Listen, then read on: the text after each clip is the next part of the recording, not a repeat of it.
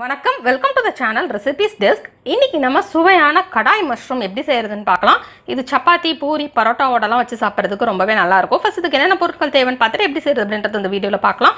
அதுக்கு முன்னால் அந்த ரெசிபிஸ் டெஸ்க் சேனலுக்கு நீங்கள் இன்னும் சப்ஸ்கிரைப் பண்ணல அப்படின்னா red colour subscribe button click பண்ணிட்டு பக்கத்தில் இருக்கிற பெல் ஐக்கான் ப்ரெஸ் பண்ணிக்கோங்க. அப்போ தான் நான் போடுற வீடியோஸ் எல்லாமே உங்களுக்கு உடனுக்குடன் கிடைக்கும். எதுவுமே மிஸ் பண்ணாமல் இன்ஸ்டண்ட்டாக பார்க்க முடியும். இப்போ தேவையான பொருட்கள் பார்த்துடலாம். ரெண்டு பெரிய வெங்காயம் ஒரு பிரியாணி இலை ஒரு டேபிள் ஸ்பூன் மல்லித்தூள் ஒரு டேபிள் ஸ்பூன் வத்தல் தூள் அரை டீஸ்பூன் மஞ்சள் தூள் அஞ்சு சிகப்பு வத்தல் ஒரு பச்சை மிளகாய் ஒரு சின்ன துண்டு இஞ்சி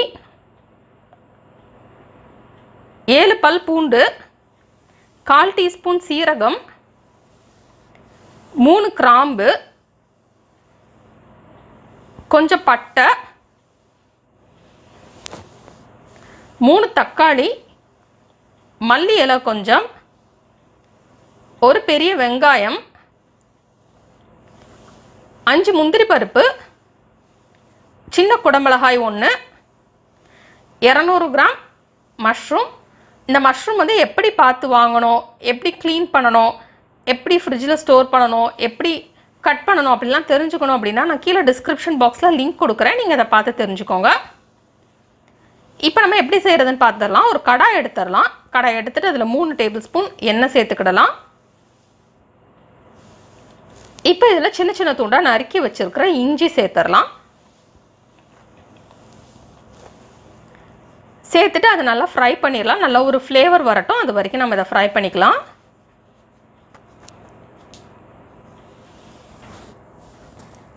இதில் நல்ல ஒரு ஃப்ளேவர் வர ஆரம்பிச்சதுக்கப்புறம் தோல் உரித்து வச்சுருக்கிற பூண்டு சேர்த்துடலாம். சேர்த்துட்டு அதையும் நல்லா ஃப்ரை பண்ணிடலாம். நல்லா பூண்டில் இருந்தும் ஃப்ளேவர் வர ஆரம்பிக்கட்டும்.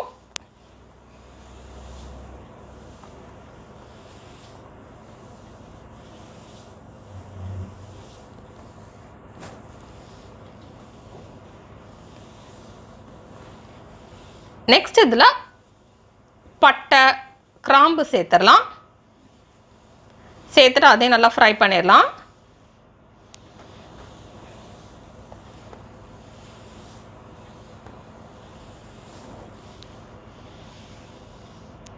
இது ஃப்ரை ஆனதுக்கப்புறம் இதில் நம்ம முந்திரி பருப்பு சேர்த்து ஃப்ரை பண்ணிடலாம்.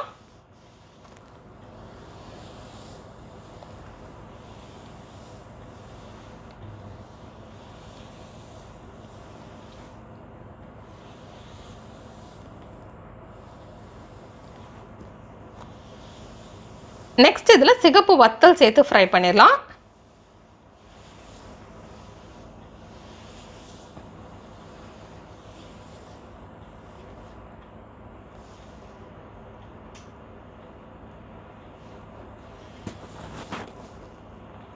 இது ஃப்ரை ஆனதுக்கப்புறம்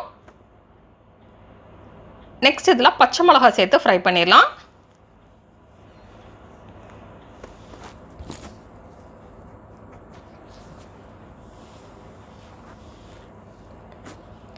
நெக்ஸ்ட் இதில் சின்ன சின்ன துண்டாக நறுக்கி வச்சுருக்கிற பெரிய வெங்காயம் சேர்த்து ஃப்ரை பண்ணிடலாம்.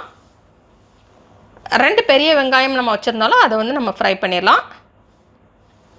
வெங்காயம் நல்லா ப்ரௌன் கலர் ஆகட்டும் அது வரைக்கும் நம்ம இதை ஃப்ரை பண்ணிக்கலாம்.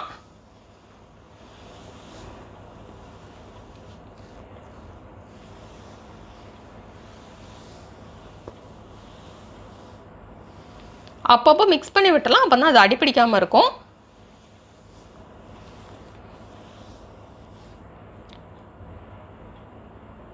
இப்போ வெங்காய கலர்லாம் நல்லா சேஞ்ச் ஆயிடுச்சு நல்லா ப்ரௌன் கலராக மாறிடுச்சு. நல்லா இந்த மாதிரி ஒரு கலர் சேஞ்ச் வர வரைக்கும் நம்ம இதை ஃப்ரை பண்ணிக்கணும் வெங்காயம் இப்படி நல்லா ஃப்ரை ஆனதுக்கப்புறம் நெக்ஸ்ட் இதில் நம்ம சின்ன சின்ன துண்டாக நறுக்கி வச்சுருக்கிற தக்காளி சேர்த்துடலாம். இதுக்கு நல்லா பழுத்து இருக்கிற தக்காளி சேர்த்துக்கலாம். அப்போ தான் அந்த டேஸ்ட் நல்லாயிருக்கும். நல்லா பெரிய சைஸ் தக்காளி நம்ம மூணு சேர்த்துக்கலாம்.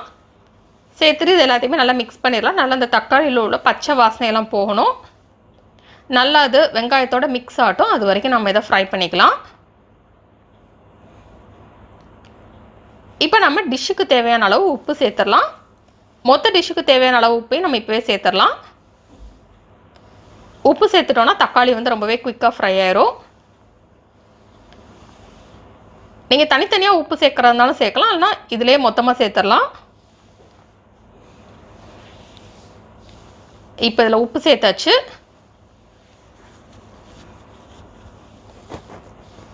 இப்போ இதை மிக்ஸ் பண்ணிடலாம். அப்பப்போ நம்ம இதை கிண்டி விட்டுட்டே இருக்கலாம். அப்போ தான் அடி பிடிக்காமல் இருக்கும். இப்போ தக்காளி நல்லா குக் ஆகிடுச்சு நல்லா அந்த பச்சை வாசனையெல்லாம் போயிடுச்சு நல்லா இப்படி வெங்காயத்தோட மிக்ஸ் ஆகிற வரைக்கும் நம்ம இதை குக் பண்ணிக்கலாம்.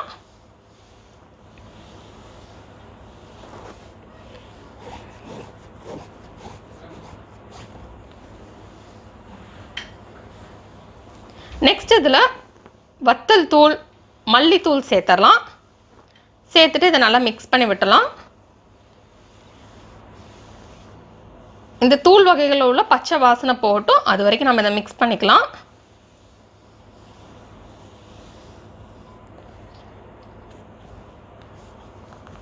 இப்போ இதில் உள்ள பச்சை வாசனையெல்லாம் போயிடுச்சு. இப்போ நம்ம இதை ஆஃப் பண்ணிடலாம். ஆஃப் பண்ணிவிட்டு இதை அப்படியே ஆற விட்டலாம் இது நல்லா ஆறுனதுக்கப்புறம் இது ஒரு மிக்சி ஜாரில் எடுத்து அரைச்சிடலாம்.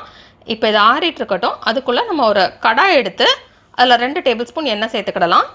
நெக்ஸ்ட் நம்ம ஒரே ஒரு வெங்காயம் வச்சுருந்தாலும் ஒரு பெரிய வெங்காயம். அது இந்த மாதிரி கொஞ்சம் பெரிய ஸ்லைசஸாக கட் பண்ணிக்கலாம். நம்ம வச்சுருந்த ஒரு சின்ன குடமிளகாவே இந்த மாதிரி சின்ன சின்ன ஸ்லைசஸாக கட் பண்ணிக்கலாம். கட் பண்ணிவிட்டு நம்ம இதை நல்லா ஃப்ரை பண்ணிடலாம். வெங்காயம் வந்து கலர் சேஞ்ச் ஆகட்டும். குடமிளகாவும் ஃப்ரை ஆன பிறகு கலர் சேஞ்ச் ஆகும். அது வரைக்கும் நம்ம வந்து இதை ஃப்ரை பண்ணிக்கலாம்.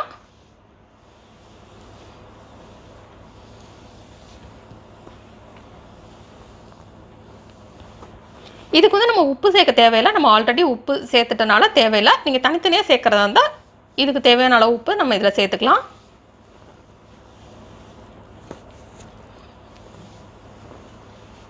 இது அப்பப்போ மிக்ஸ் பண்ணி விட்டுட்டே இருக்கலாம். அப்போ தான் அடி பிடிக்காமல் ஃப்ரை ஆகும். இது நல்லா ஃப்ரை ஆனதுக்கப்புறம் நம்ம இதை அப்படியே ஒரு பிளேட்டில் ட்ரான்ஸ்ஃபர் பண்ணிடலாம்.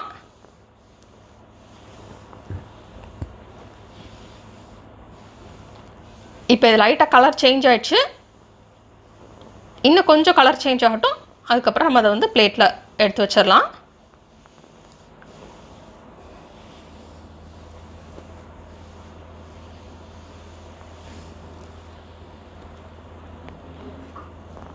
இப்போ நம்ம இதை தனியாக ஒரு பிளேட்டில் எடுத்துடலாம். இப்போ இது நல்லா ஃப்ரை ஆயிடுச்சு. நெக்ஸ்ட் நம்ம அதே கடாயிலே தேவையான அளவு எண்ணெய் விட்டு நம்ம செய்ய ஆரம்பிச்சிடலாம். நம்ம செய்ய ஆர ஆரம்பிக்கிறதுக்கு முன்னால் நம்ம அந்த மசாலாவை வந்து அரைச்சிடலாம் இந்த மசாலா நல்லா ஆறிடுச்சு. இப்போ அதை ஒரு மிக்ஸி ஜாரில் சேர்த்து அரைச்சிடலாம்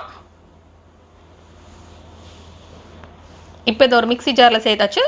தண்ணியெல்லாம் எதுவுமே விட வேண்டாம். நம்ம அப்படியே நல்ல ஒரு பேஸ்ட்டாக அரைச்சிக்கலாம். இப்போ நம்ம செய்ய ஆரம்பிச்சிடலாம் அதே கடாயிலே மீதம் உள்ள எண்ணெயிலே செய்யலாம். ஆனால் நீங்கள் தேவைப்பட்டால் கூடுதலாக எண்ணெய் சேர்த்துக்கலாம். எண்ணெய் நல்லா சூடாகட்டும் நெக்ஸ்ட் இதில் சீரகம் சேர்த்துடலாம். இது நல்லா பொறிஞ்சிடட்டும் நெக்ஸ்ட் இதில் பிரியாணி இலையை வந்து பிச்சு சேர்த்துடலாம். அப்போ தான் ஒரு நல்ல ஒரு ஃப்ளேவர் கிடைக்கும்.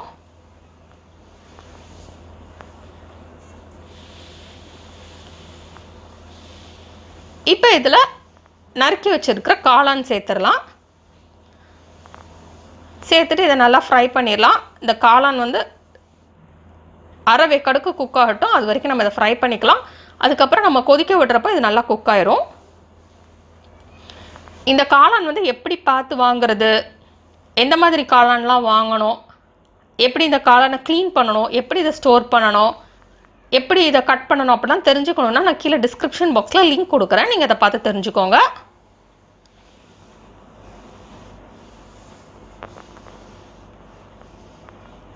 இப்போ நம்ம இதில் மஞ்சள் தூள் சேர்த்து மிக்ஸ் பண்ணிடலாம்.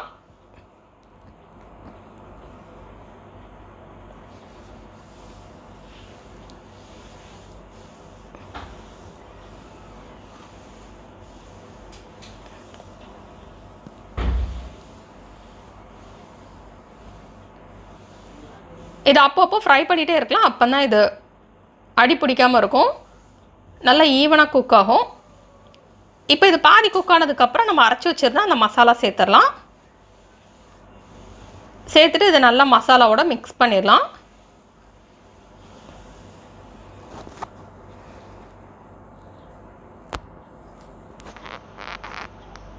ஆல்ரெடி வந்து நம்ம இதை ஃப்ரை பண்ணி தான் அரைச்சிருக்கோம். அதனால் இதில் எந்த பச்சை வாசனையும் இருக்காது. அதனால் இதை ரொம்ப நேரம் மிக்ஸ் பண்ணும் தேவையில்லை. நல்லா அந்த மஷ்ரூம்ஸ் வந்து இந்த மசாலாவில் கோட் ஆகட்டும் அது வரைக்கும் நம்ம இதை மிக்ஸ் பண்ணிக்கலாம்.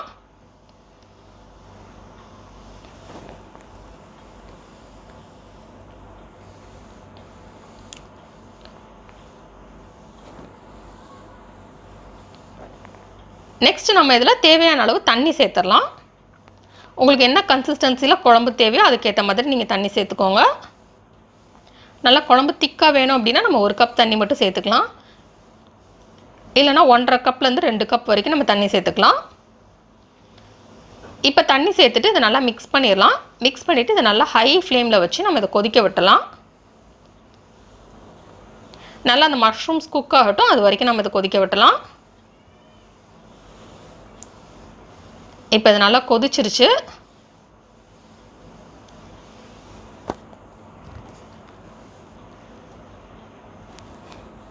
நல்லா அந்த மஷ்ரூம்ஸும் குக் ஆயிடுச்சு.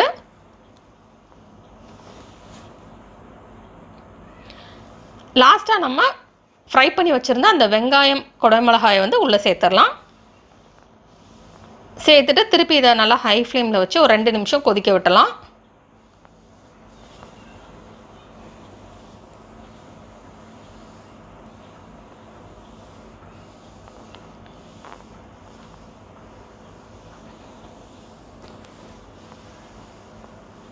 இப்போ இது நல்லா கொதிச்சிருச்சு.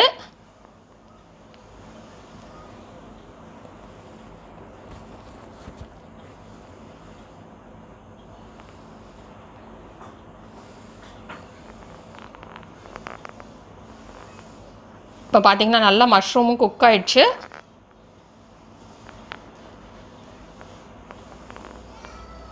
இப்போ நம்ம ஸ்டவ் ஆஃப் பண்ணிடலாம்.